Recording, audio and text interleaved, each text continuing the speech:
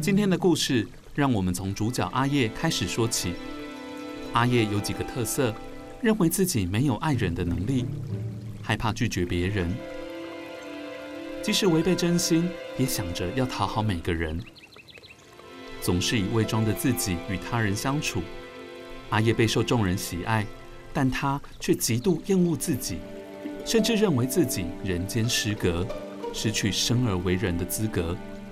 阿叶到底经历了什么，让他逐步走向自我毁灭？阿叶是日本作家太宰治小说《人间失格》的主角大庭叶藏。故事中有许多与太宰治人生重叠的事件，因此许多人认为本书是太宰治的半自传作品。在本书开头，太宰治便写下：“唉，我的人生在羞耻中度过。”大庭叶藏度过了什么样的人生，让他觉得尽是羞耻？叶藏家中是当地望族，家境虽富裕，叶藏却难以与家人真实交流。对于人类的行为，叶藏也充满不解。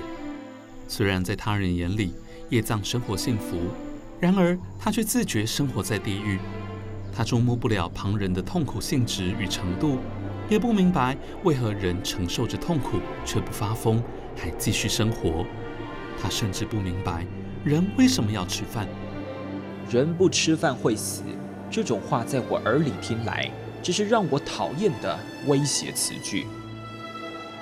叶藏不但无法理解人类的行为，还惧怕着人类。即便如此，他也无法割舍对人类的感情。因此，叶藏借由扮丑自己，引人发笑，勉为其难地与社会维持联系。对叶藏来说，这是他对人类社会最后的求爱行为。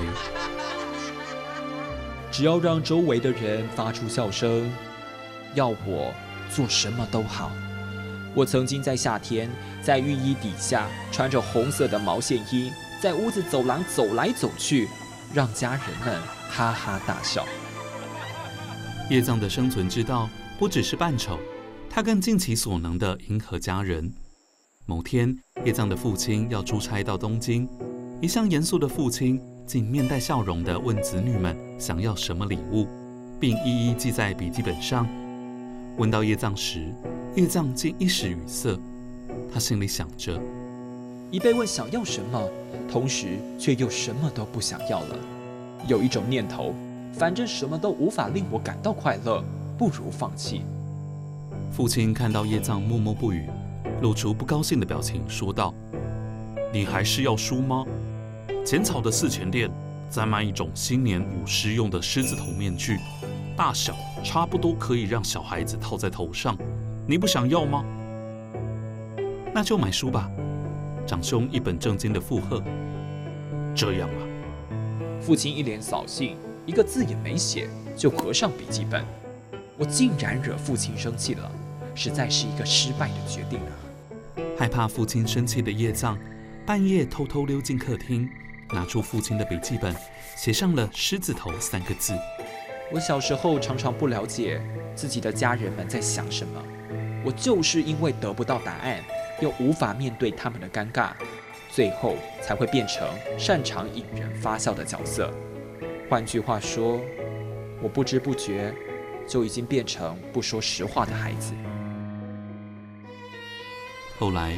他在东京认识同在美术教室学习的学员枯木正雄，两人即是俗称的酒肉朋友。和枯木在一起，让叶藏染上了各种不良嗜好，日日过着浪荡不羁的生活。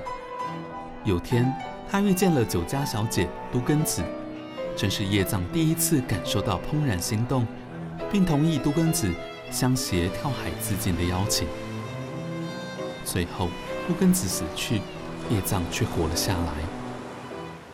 此事闹上新闻，让家族蒙羞，关系变得更加恶劣。